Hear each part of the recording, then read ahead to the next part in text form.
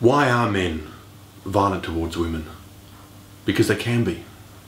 Because for thousands of years we've gotten away with it.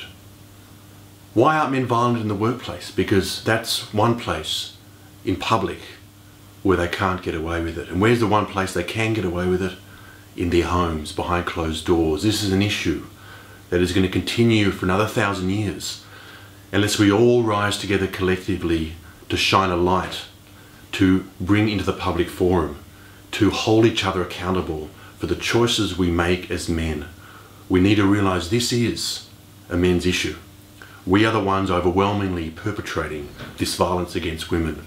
And sadly, we don't realize the damage so deeply that we do to ourselves when this occurs every day to the people who could otherwise be our sisters, our daughters, or our mothers.